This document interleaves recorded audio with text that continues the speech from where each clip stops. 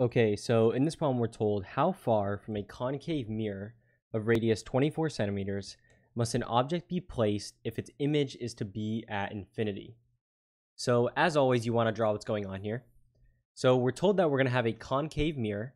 Concave means that it's going to be uh, shaped like this. Uh, if it was convex, it would be like this relative to our image or our object. So if our object's here, it's concave, so we know it's going to be shaped like this. Uh, and there's a few things that you need to know. So uh, the way we're going to solve this problem is by using uh, the mirror equation, which tells us 1 over f, or the focal length, is equal to 1 over the image distance, or sorry, the object distance, plus 1 over the image distance. So uh, what we're trying to solve for is uh, how far the object needs to be placed. And so what they're talking about here is the object distance DO. So DO is the distance between our object to the mirror. So we assume uh, that the object's going to place somewhere over here. We don't know where, uh, but we're going to be solving for that. So some distance DO uh, is what we're going to be solving for. And so if we want to find DO, we're going to need the focal length and we're going to need the image distance. So the easiest one for this is the image distance. They tell us in the problem that the image is to be at infinity. So the distance or the image distance is just going to be equal to infinity. So we're just assuming it's infinitely far away. Uh, so this value is just infinity.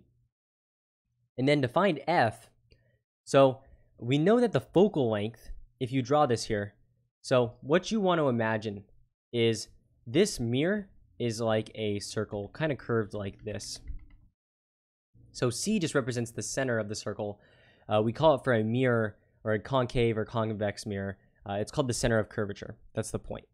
And we know this distance is uh, radius r. So whenever they talk about the radius of the mirror, they're basically talking about the distance from the center of curvature uh, to the mirror itself or to the edge. So this is called the radius of curvature r uh, and they do give us that value. Uh, and then f is called your focal length, and f is uh, defined as the point halfway between uh, the center of curvature and the mirror. So it's basically this length right here.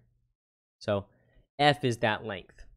And if you look at this image, it should be apparent that r is equal to 2 times f, or f is just equal to half the radius.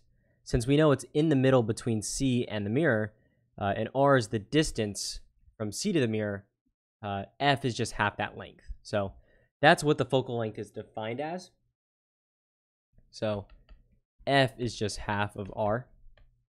And if we want F, they, they just give us the radius. So uh, F is just 1 half times R, which they give us. They tell us it's 24 centimeters.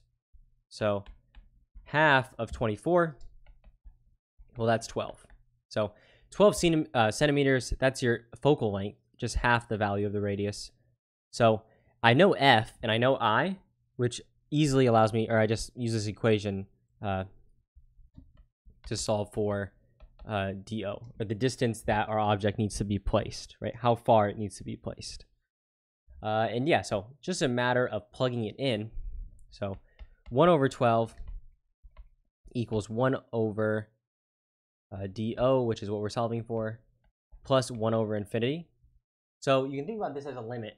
Uh, 1 over infinity goes to 0. So we can just treat this value as 0. So this just tells us 1 over 12 equals 1 over d0. And so this should just be apparent that uh, d, that d0, or d sub 0, or your image distance, is just equal to 12.